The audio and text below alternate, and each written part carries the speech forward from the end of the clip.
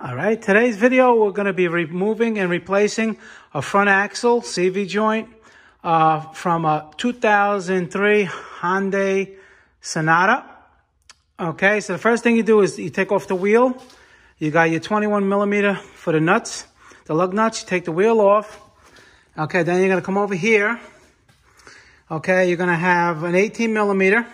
First, it's going to have, it's going to have a cotter pin in there you see this, the, uh, this is the uh, nut. And it's going to have a cotter pin like this. Take the cotter pin out. Take the bolt out. Now, if you don't have a separator, what you're going to want to do is you're going to want to use a big hammer like this and strike it. You see how, how the, the, um, the steering goes this way? You want to strike it the opposite way, this way. Okay? You hit it here. Don't hit it here hit it here. A nice couple of shots right here. Don't try not to hit the threads. Keep the keep the nut on so you don't mess up the threads. A couple of whacks and she'll pop right out. All right. Well, a lot harder than that. I had already uh, uh, loosened it, but you get the idea. Okay, you get that out of the way, and now she moves like this.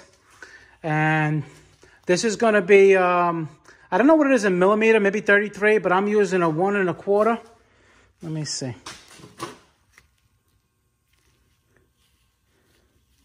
Uh, yeah, a one and a quarter. It fits on there nice and snug. Okay, you take that out and then uh, we'll continue. Okay, then once you got that nut off, you don't take this one off. You take these, one and two okay? And it's basically the um, lower ball joint just stays in place. You don't have to mess with this one. That's an 18 millimeter. You take those out, okay? Then you come around here, see if you can get like a punch or something and just like hit it with a, a mallet. Don't hit the threads themselves. If you, well, you're not going to reuse it, but still, just don't, it's, it's good practice just to use a, like a thick punch and a hammer just to push the uh, axle a little bit past so it's uh, it uh, releases through the uh, wheel bearing, hub bearing. Okay, here here's the separator. We take those uh, 18s out. I think there was uh, 17 or maybe, uh, yeah, because I had 18. It was a little bit sloppy, but I didn't want to go get another one. But it came out anyway. Eight, uh, see, this is where it goes over here and here. And the whole thing slides out, and that's the reason why we're replacing it. And you, you hit it, like I said, until it pops out. And see, the whole thing basically slides nice. And you could just... Okay. All right, now once you have that out like that, then you're gonna get a crowbar and you're gonna put it in here and through there you get a crowbar and you pop it out of its uh there's a circlip in there uh, a little fluid may fall, but not that much. Okay, like here's the other one on this side. You see how you would just get it and pop it out the same way. And this one, you get it over here. And I'll do that, take it out. Okay, so I use the crow crowbar. You see how it's, it's away over there? Let me show you. I got this in there like this and just popped it out. Now, this car, this particular model, the four cylinder, it has a decent amount that's coming out. When I said not that much comes out, so whatever comes out, you have to catch it. So it's good to have a, a drain pan there, and whatever comes out, that's what you have to put back in, okay? I thought it was just gonna leak a little bit. Some of them do. This one is a little bit more, like it's still leaking. So it could have leaked at least a half a quart. So like I said, whatever comes out, you just put back in, all right? So now, you just grab this. And you see how it comes right out? And it's still dripping. Yeah, so that was a decent amount. Um, uh, so I'll just make a note of that. See, it's still coming out. But like I said, no big deal. Let's pull the shaft out. Okay, now when you're getting, putting the new one in, make sure it's the same. It looks the same. It's the same length. Okay, because matter of fact, I just had one, it was wrong. I had to send it back. Uh, some of them have the rubber dampening. The better quality ones have this. It's a, a little less vibration. This one doesn't have it, but you know, that's up to you. And now this one has uh, a ring for the ABS. Uh, my, my car doesn't have ABS, so it doesn't really matter.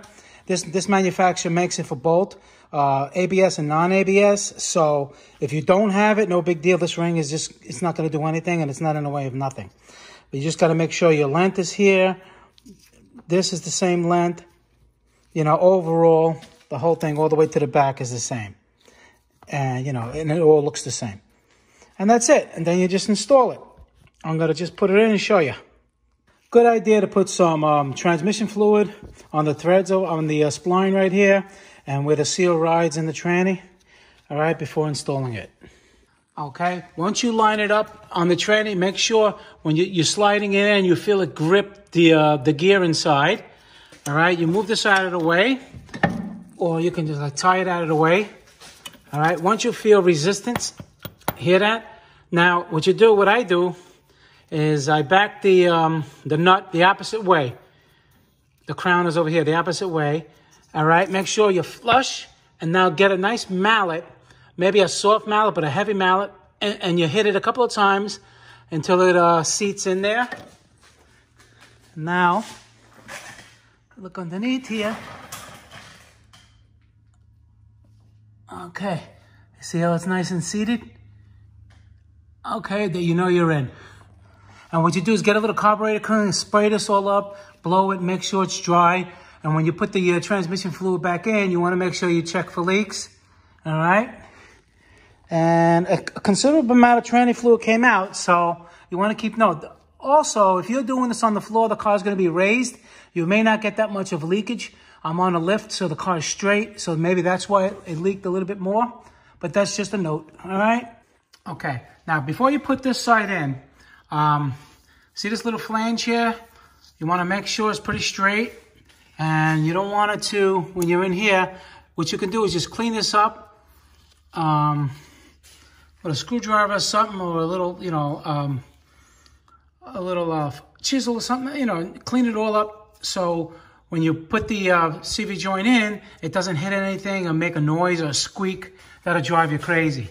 All right, that's just another quick tip before you install it. Okay, and once you install the nut and the cotter pin, make sure she turns freely. That's hard to do. Uh, hand, but here we go. Make sure it turns. Uh, that little rub in your hair, that's just the brakes. Okay? And then put your uh, tie rod in, back. back. Uh, let me do that. Okay, now once you're done with everything, what I like to do is spray all the areas where it leaked. You know, get them all clean with some carburetor, uh, some uh, brake cleaner. All right, make sure it's dry. Clean up everything. And on the rotors where you touched them, clean up everything nice. You see the new joint there? And let it dry and make sure it's nice and dry. So when you fill it up with the, the, um, the tranny fluid and you test drive it, you go underneath there, you'll know right away if there's any leaks. There shouldn't be. Okay, so when you fill it up, here's the um, auto, automatic transmission fluid stick. You take this out and you put the fluid in through here. Whatever you took out. Okay, and then after that, you test drive it, uh, make sure everything sounds good, and you just save yourself about 500 bucks. All right, guys, Motorcar Nut. Please subscribe, hit the like button, check out my other videos. I got so many uh, saving tips, uh, save you a lot of money on all, all aspects of automotive. All right, guys, bye.